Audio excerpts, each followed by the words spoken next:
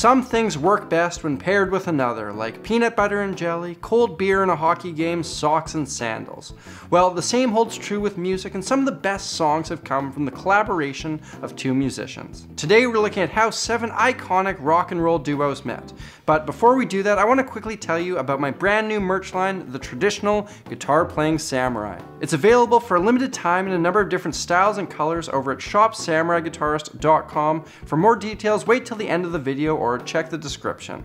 Anyways, let's dive in. To start things off, we're looking at perhaps the most iconic songwriting duo of them all, John Lennon and Paul McCartney. In the summer of 1957, John's band, the Quarrymen, were playing their second ever performance in the back of a moving truck. Earlier in the day, John had gotten into a big fight with his aunt and proceeded to get rather drunk, making it fairly difficult to keep his balance on the moving stage. Despite this, John's vocals and banjo playing impressed a young Paul McCartney who was in the crowd. They were introduced after the set, and what ultimately broke the ice was the fact that Paul knew how to tune a guitar. Up until then, whenever their instruments would go out of tune, John and the band would take their guitars across town to a fellow who would help them out. On top of this, Paul played a couple rock and roll tunes, and his talent clearly left an impression on John. It wasn't long after that Paul was asked to join the band. Next on our list are the only two remaining original members of the Red Hot Chili Peppers, Anthony Kiedis and Flea. Anthony had started his first year of high school at Fairfax High where he befriended a small tiny little kid named Tony. And in Anthony's words, about a month into the school year, Tony and I were talking in the quad at lunchtime when a tiny crazy looking, gap-toothed, big-haired kid came waltzing up to Tony, put him in a headlock and started roughing him up. Anthony stepped in to protect his friend and the other kid back down. Kiedis recalled, It's weird, even though we were starting off on this aggressiveness, I felt an instant connection to the remarkable little weirdo. That little weirdo's name was Michael Balzary, soon to be known to the world as Flea. Moving on, we have the duo responsible for such songs as Tiny Dancer, Candle in the Wind, Rocket Man, and many others, Bernie Taupin and Elton John. In 1967, Liberty Records put out an ad seeking talented musicians and songwriters in London, England.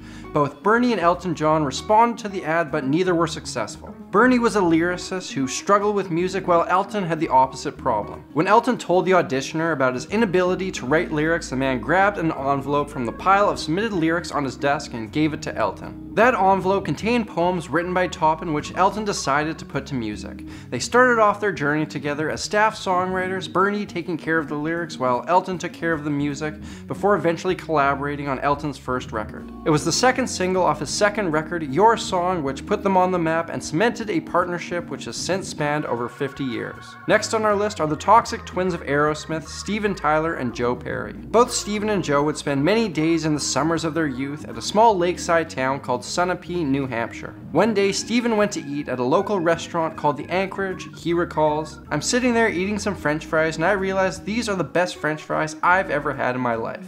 So, being me, I had to go see who made them. The fry cook was a kid named Joe Perry who apparently wasn't a big fan of Steven Tyler. Steven and his friends would often come in, make a big mess, and he was the one who had to clean it up. Fast forward a few years, and Steven sees Joe Perry playing in a band creatively named the Jam Band. He recalls, they couldn't sing, they couldn't tune their instruments, and they were sloppy and they just sucked but they were great. The next day, Steven found Joe and presented him with the idea of starting their own band. Moving on, we have the two members of the undeniably greatest rock and roll band of them all, Kyle Gass and Jack Black of Tenacious D. In 1985, the pair were both members of Tim Robbins' theater group, The Actors Gang. And yes, that is the same Tim Robbins who portrayed Andy Dufresne in The Shawshank Redemption. The two didn't instantly hit it off. Jack Black has admitted that when he joined the group, he stepped on a couple toes, and it would take some time before Kyle Gass warmed up to him. They were stuck working together on a musical piece when, in Jack's words, we eventually realized if we joined forces, we could be an indestructible force of entertainment. He was right. And bonus fun fact, their first ever big screen debut was a background performance in the movie Biodome, a film commonly considered one of the worst of all time. Oh, the humble beginnings of rock and roll greatness. Whenever it was that Mick Jagger met Keith Richards for the first time is lost to the history books.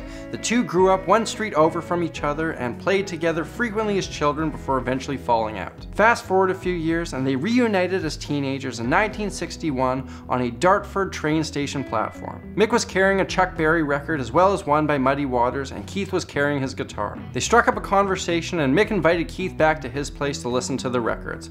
It wasn't long after that Mick invited Keith to join his band Little Boy Blue and the Blue Boys. They would end up forming the Rolling Stones with another bluesman named Brian Jones. They took the name from a Muddy Waters song of the same name. And that track was found on the record that Mick was carrying the day him and Keith hit it off. And last on our list is the historically volatile but currently on good terms duo Slash and Axl Rose. The first meeting between these two was entirely uneventful. Slash auditioned for Axl's band after responding to a classified ad seeking a guitarist. Nothing came of it and they both went their separate ways. A little while later, Slash went to see the band Hollywood Rose and in his words, it was the first time I beheld the best singer in Hollywood at the time, W. Axl Rose. After the band fired their guitar player, rumor got out that they were auditioning and Slash showed up at their dingy rehearsal space. Everything was going fine until the rhythm guitarist Izzy Stradlin up and left unexpectedly mid-song. There was a brief moment of awkwardness, no one knew what to make of it, but they counted in the next song and everything gelled. Slash joined Hollywood Rose, which would soon become Guns N' Roses. Ladies and gentlemen, there you have it. That's how seven iconic rock and roll duos met. I hope you enjoyed this video. I mentioned at the beginning of the video I've officially launched my first ever merchandise line, the traditional guitar playing samurai. It's available in a number of different styles and colors over at shopsamuraiguitarist.com. I'm doing a limited run to test the water, so get one while quantities last. Thank you all for watching, and a big thank you to everyone who supports my channel through Patreon. If you're new here, make sure you hit that subscribe button, hit that link over there to check out another video. I'm Samurai Guitarist, and until next time, I'll see you again soon.